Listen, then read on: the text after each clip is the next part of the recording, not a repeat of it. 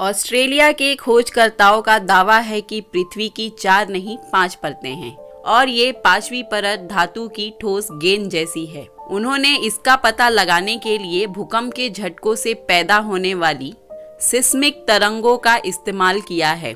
उन्होंने सिस्मिक तरंगों की रफ्तार के ज़रिए पांचवी परत का पता लगाने की बात कही है। खोजकर्ताओं ने इसके लिए पिछले एक दशक में आए 200 भूकंप के झटकों के डाटा को जमा किया था। खोजकर्ताओं के मुताबिक पांचवी परत धातु की बनी है। तो आइए इसके बारे में हम डिटेल में जानते हैं। हेलो दोस्तों, अर्थ अजूबा में आपका फिर से स्वागत है। खोजकर्ता आखिर किस आधार पर दावा कर रहे हैं कि धरती की पाँच परतें हैं? अब तक पांचवी परत की संभावना जताई जाती रही है, लेकिन कभी इसे साबित नहीं किया जा सका है। वैज्ञानिकों ने अंदरूनी कोर में मौजूद लोहे की संरचना में अंतर पाया है, जिससे धरती के केंद्र से 650 किलोमीटर पर एक अलग सीमा के संकेत मिले हैं। खोज से उत्साहित स्टडी के लीड रिसर्चर जोआन स्टफेंशन ने कहा है कि हो सकता है कि अब टेक्स्ट बुक बदलनी पड़ जाए। अभी तक लोगों को पृथ्वी की चार परतों के बारे में पता था। ये चार परतें क्रस्ट, मेटल, आउटर कोर और इनर कोर है। ऑस्ट्रेलियन नेशनल यूनिवर्सिटी के खोजकर्ताओं ने पृथ्वी की पांचवी परत खोज निकालने का दावा किया है। खोजकर्ताओं ने इसके लिए पृथ्वी के भूगर्भ से गुजरने वाली सिस्मिक तरंगों की रफ्तार को आधार बनाया है। इसके लिए उन्होंने पिछले एक दशक में छह या उससे ज़्यादा की तीव्रता वाले 200 से ज़्यादा भूकंपों का डाटा जमा किया। खोजकर्ताओं की रिपोर्ट के मुताबिक पांचवी परत धातु की गेंद जैसी है, जो भूगर्भ के बिल्कुल बीचों बीच है। या हम कह सकते हैं कि पृथ्वी के अंदरूनी हिस्से में है। उन्होंने रिसर्च के नतीजे नेचर कम्युनिकेशन के जर्नल में पब्लिश किए हैं। जिसमें उन्होंने बताया है कि पृथ्वी की संरचना और उसके विकास को समझने के लिए पृथ्वी के भूगर्भ के बारे में जानना कितना ज़रूरी है। एएनयू के research school of earth science के डॉक्टर थान सोन फार्म ने बताया, पृथ्वी के भीतरी गर्भ में धातु की गेंद की मौजूदगी की कल्पना करीब 20 साल पहले ही कर ली गई थी। हमने अब इस कल्पना के सबूत पेश किए हैं। हम आपको बता दें कि ये तरंगे पृथ्वी के एक छोर में पैदा होकर पृथ्वी के बीचों बीच से होते हुए दूसरे छोर से निकलती है। लहरें फिर से भूकंप की स्रोत की ओर लौट जाती है।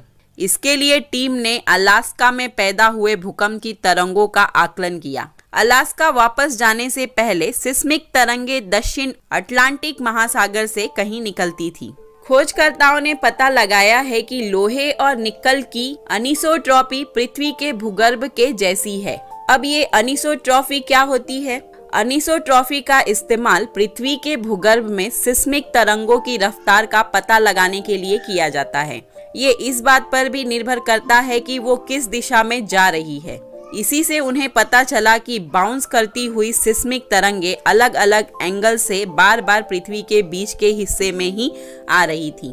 इसके बाद खोजकर्ताओं ने अलग अलग भूकंपों की सिस्मिक तरंगों के ट्रैवल टाइम की जाँच की, जिससे उन्हें पता चला कि पृथ्वी के भूगर्भ के अंदरूनी हिस्से में क्रिस्टल जैसा कुछ है, जो बाहरी परतों से काफ़ी अलग है। खोजकर्ताओं ने इससे अंदाज़ा लगाया कि पृथ्वी के निर्माण के दौरान कई बड़ी घटनाएँ हुई होंगी, जिससे कोर के अंदरूनी हिस्से की क्रिस्टल संरचना में इतना महत्वपूर्ण बदलाव हुआ अब हम आपको बता दें कि इस खोज के फ़ायदे क्या हैं। इसके खोजकर्ता फार्म और कैलरिच ने कहा कि इस खोज से वैज्ञानिकों को 450 करोड़ साल में हुए धरती के विकास को समझने में काफ़ी मदद मिलेगी। उनका मानना है कि इसकी वजह से धरती पर जीवन को पनपने में काफ़ी मदद मिली थी।